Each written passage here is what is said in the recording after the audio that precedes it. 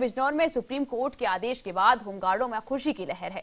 अब होमगार्डों को भी पुलिस के समान वेतन मिलेगा। इस समाचार के बाद होमगार्ड गदगद हो गए हैं और एक दूसरे को मिठाई खिलाकर उन्होंने अपनी खुशी का इजहार किया है। सुप्रीम कोर्ट ने उत्तर प्रदेश के सत्तर हज़ार होमगार्डों को राहत दी है। इन होमगार्डों को कांस्टेबल के न्यूनतम वेतन के अनुरूप भत्ता मिलेगा।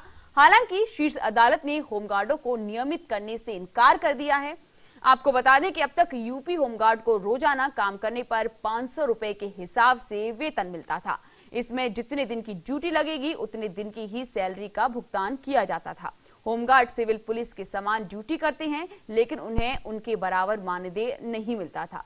यही नहीं, होमगार्डों के जवानों को साल में सिर्फ़ छह से सात महीने ही ड्यूटी दी जाती थी, बाकी बचे महीनों में उन्हें ड्यूटी भी नहीं मिलती थी। ना ही मानदेय, लेकिन अब शीर्ष अदालत ने यूपी सरकार को होमगार्डों को दिसंबर 2016 से ये भत्ता देने के लिए कहा है। सरकार को आठ हफ़्ते के में आदेश जारी करने की बात कही गई है।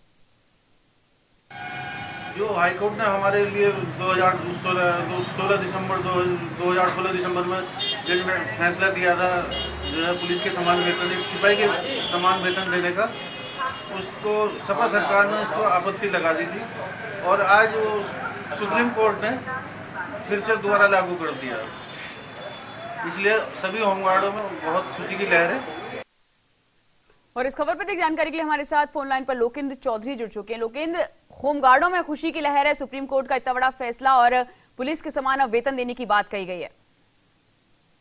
राकेश जी मैं बता दूँ जो होमगार्ड हैं ये खुशी की इनके लहर दौड़ गई है और इसी के लेकर इन्होंने मिठाइयाँ भी बांट कर एक दूसरे को बधाई दी है हम्म। इनका कहना है जो हमारा वेतन था कम मिलता था पुलिस के कांस्टेबल के बरोबर वो अब हमारा वेतन इतना ही मिलने लगेगा इससे इनके घरों में भी और इनमें इन भी खुशी की लहर दौड़ी हुई है लगातार नियमितीकरण की मांग करते हैं होमगार्ड। कई बार प्रदर्शन धरना प्रदर्शन भी देखे गए हैं और इस इस तरीके से क्योंकि समान वेतन की मांग पुलिस के समान वेतन की मांग करती थी लेकिन सुप्रीम कोर्ट ने नियमितीकरण की मांग नहीं की है।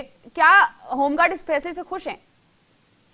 हाँ अभी तो ये इनका जो वेतन का मामला है उसी से ये खुश हैं। हम्म। इन्होंने 2016 में अपना दाखिल किया था और उसमें अभी इनको कहीं जाकर खुशी का माहौल मिला है उसी से ये खुश हैं। उन्होंने कहा अभी वेतन हमारा बढ़ गया तो हमें मतलब नियमित ना हो लगातार ऐसे ही हमारा वेतन बढ़ता बढ़ बढ़ गया और इससे हमारे मन में खुशी है और घर में भी खुशी है। आपकी किसी होमगार्ड से बात हुई?